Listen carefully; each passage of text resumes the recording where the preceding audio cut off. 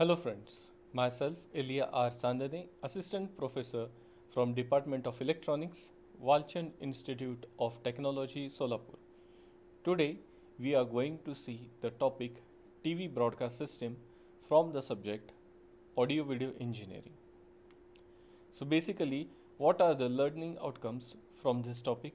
At the end of this topic, students are able to explain the working principle of TV broadcast system. They can explain the working of TV transmitter system. They can explain the working of TV receiver system. So basically this is the simplified block diagram for TV broadcasting system and generally this is the transmitting side for TV broadcasting system. Here there are different blocks. As you can see here there is a television camera, video amplifier, AM modulating amplifier, audio amplifier, FM modulating amplifier, FM sound transmitter, crystal oscillator, RF amplifier and power amplifier which then gives the output to the combining network which has the input from video and audio and then the combining network gives the output to the transmitting antenna. So basically this is the block diagram for TV transmitting system. So let us now see the explanation for the same. So here an TV camera is used as we have seen in the block diagram which converts optical information into electrical signals. The amplitude of which varies in accordance with the variations of brightness. An optical image of the scene to be transmitted is focused by using a lens assembly on a rectangular glass faceplate of the camera tube. The inner side of the camera generally consists of glass faceplate which is a transparent conductive which has a transparent conductive coating on which it is laid a very thin of thin layer of photoconductive material. That means whenever the electrical signals which are passing through the camera they go and bombard on the photoconductive material which then illuminates. Thus Depending on the light intensity variations in the focused optical image, the conductivity of each element of the photo layer changes accordingly. That means the according to the different according to the light intensity variations the brightness of the picture or the scene varies. Hence this is done by using an electronic beam which is used to pick up the picture information. This beam is formed by using a electric gun in the TV camera tube. So on its way to the inner side, the electrical signals pass through a pair of deflecting coils which are mounted on the glass envelope. Hence, the rays get deflected and these travel in a mutually perpendicular path towards the photoconductive material. So, these deflecting coils are generally used for achieving the scanning purpose. Here, the scanning used in TV broadcasting system is generally a interlace scanning and this is done in the same way as one reads a written page that means whenever we start to read a page a line on a page then we start from the left left hand side we go on towards the right hand side and as the line ends we again come to the left hand side of the next line and then again we start reading the book.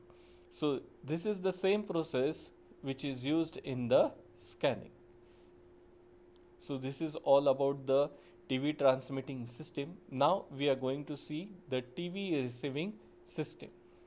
Here as you can see there are different blocks used RF tuner, RF tuner, common IF amplifier, video detector, scanning and synchronizing circuits, video amplifier, audio amplifier, FM sound modulator and sound IF amplifier.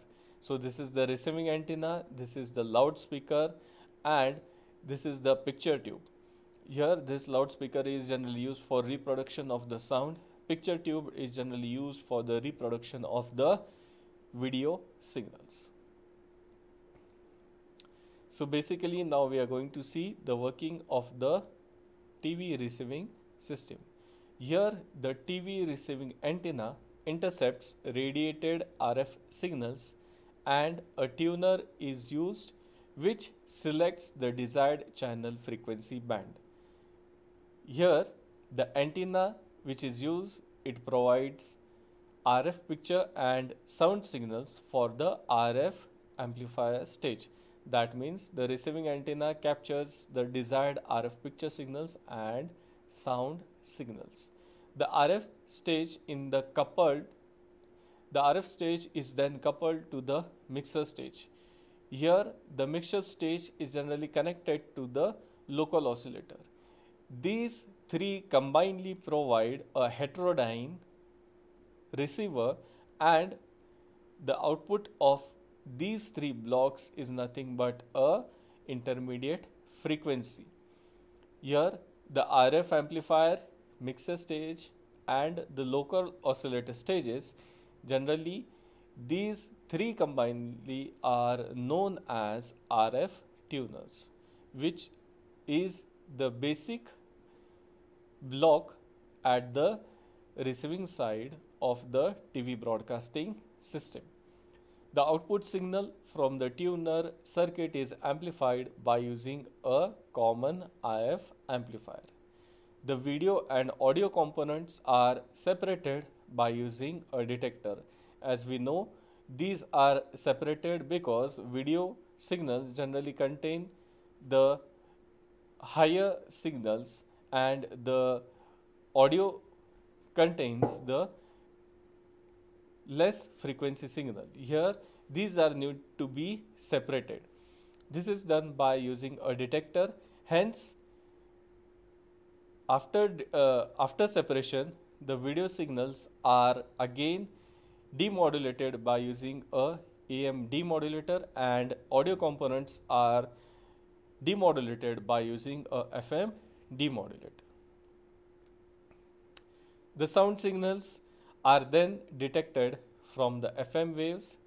These are then amplified and then fed to the loudspeaker which reproduces the sound signal. The video components similarly are first passed through the detector which separates the picture signal from the synchronizing pulses.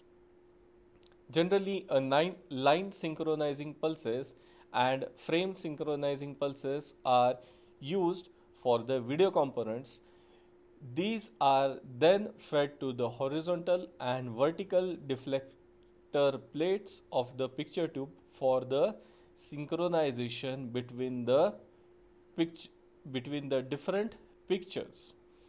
The blanking pulse are generally given to the control grid of the electronic gun of the picture tube. These blanking pulse are generally used for blanking up the retrace period during the scanning process. The picture signals are amplified are appli applied to the filament of the electronic gun of the picture tube. According to the variations of potential in the picture, potential is nothing but the brightness. Electrons are emitted from the electronic gun. Thus, the intensity of fluorescent screen of the picture tube varies in accordance with the variations in the brightness of the picture and hence the picture gets reproduced. So this is all about the TV receiving system. These are the references for you people.